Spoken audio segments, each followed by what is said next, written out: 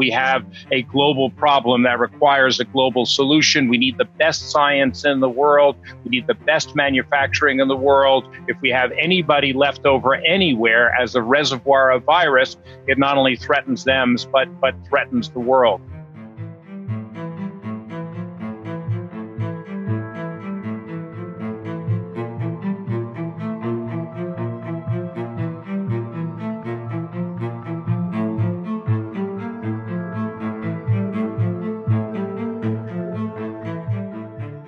You know this this is costing us two to four trillion dollars for this outbreak right now. So even if we can uh, move forward vaccines by one or two weeks, it may pay for itself.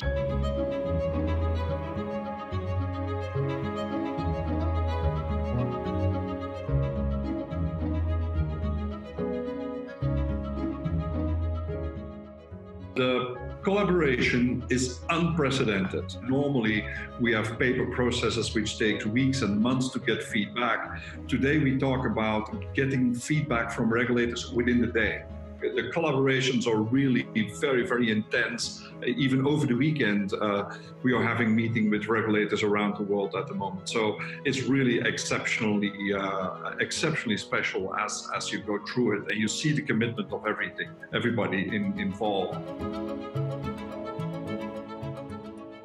Our goal is ideally in the summer to start very large uh, clinical trial, phase three or pivotal studies. And you're talking, you know, thousands of people, maybe, you know, up to 10,000 people across many different hospitals around the world. And the goal will be to be in a position to potentially, assuming everything goes well, to go to the regulators and to actually ask for product approval as early as the end of this year.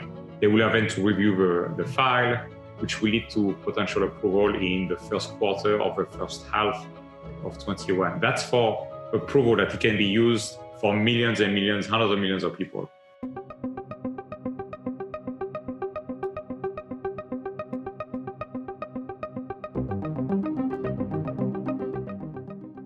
Where we will take over is in the manufacturing side and then ultimately, obviously, scale up in distribution. And that has to be done in partnership with industry. So the challenge for this is industry, of course, can invest in in making sure there's manufacturing, but they need to know that somebody's going to buy it. And that's what we're trying to create now as an advanced market commitment with push and pull. What's going to be important here and what's very unique is that we go have to go so fast and so huge because where Ebola was a problem in Central Africa with a few hundred thousand vaccines, you can get it under control. Here you need billions of vaccines. And that's where industry comes in, I think, is that that you need a large contingent of people with a lot of experience to develop vaccines fast and globally. Um, and then you need in parallel, not just sequential, but you need to start already preparing manufacturing long before you have your, your clinical results available.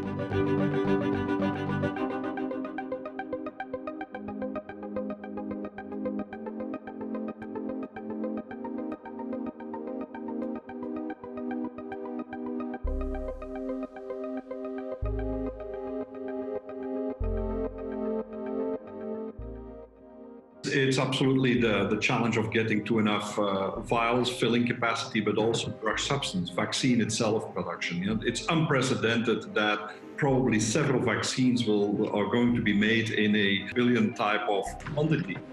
Uh, we count today on doing five vaccines per vial because uh, there is no other way to get a billion vaccines to people in uh, in 18 months if you don't start uh, working like that.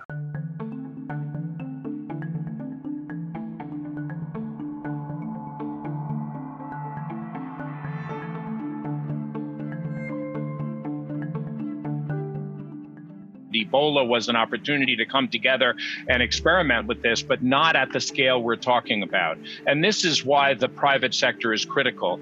Paul talked about the private sector for vaccines, but let me talk about a different role for the private sector, which is going to be in distribution, bringing innovation in. How do we do last mile? We're working with UPS on that. We're working with drones to deliver equipment. We try to make sure that there is a very large capacity available so that the quantity can, can support a large part of the world and, and fighting for equitable access in the world. That people can get access wherever they need it in the world is very important. If we don't solve this infection in every part of the world, it will not be solved for the world. And that's where an unprecedented global collaboration will be needed and speed. Yeah? Days count, hours count, not just for the economy, but just for every every life which will be lost if we do this not fast enough.